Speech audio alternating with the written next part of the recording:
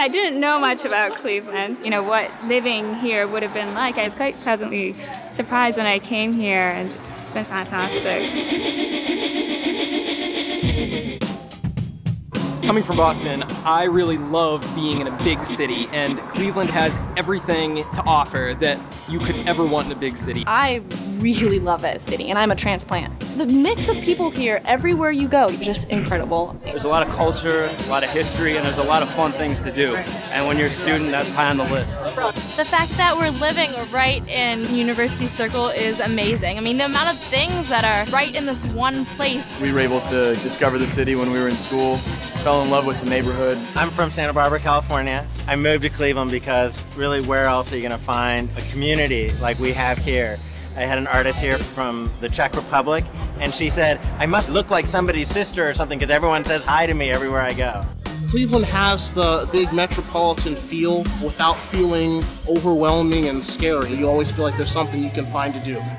We have the second largest performing arts venue outside of New York City. That would be Playhouse Square. They have the Indians, the Cavaliers, the Browns. Oh yeah, Indians games with the student IDing over $12. It has Rock and Roll Hall of Fame, it has the Rapid, which can get you anywhere you want to go in the city, the nightlife, the music that's available here. The most important thing for me as a student was the affordability of Cleveland. You can live well, you can have a lot of fun uh, on a budget, which is important for a student.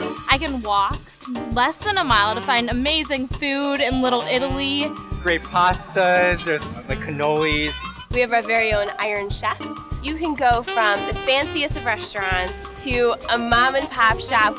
There's like a great Asian district in the city. A lot of the students would go down to Coventry. Coventry is this hippie, like, Haight-Ashbury take.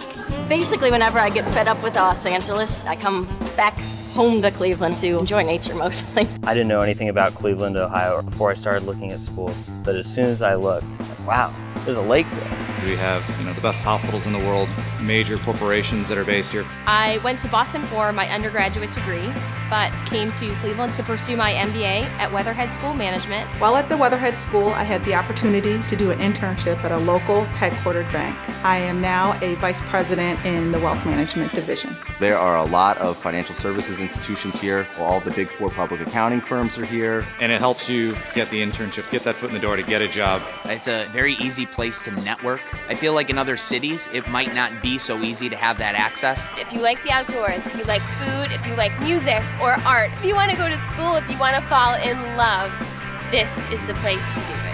I absolutely love living in Cleveland, and I would encourage anybody to come out to Cleveland and really let it surprise you. Let yourself fall in love with it.